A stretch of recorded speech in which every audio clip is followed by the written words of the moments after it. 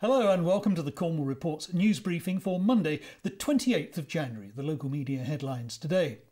Are we nearly there yet? Well, probably not, but the next 48 hours will be more wall to wall Brexit coverage anyway.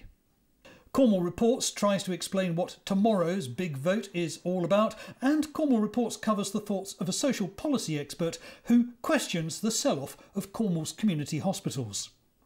Pirate FM did what most of the media did and told us that yesterday it was a bit blustery.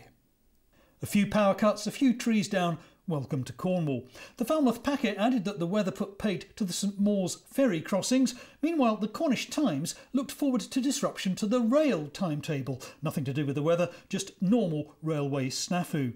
The Camelford and Delabole Post told us the Town Council's backing a new mental health unit. Sister paper, the Bude Stratton Post, said happy birthday to Harry Mundy, a hundred years young. And finally, Cornwall Live had another list of places to take the children. And those are the local media headlines for now. Thank you very much for watching. Do please share this video on social media. I'll be back again tomorrow. See you then. Bye bye.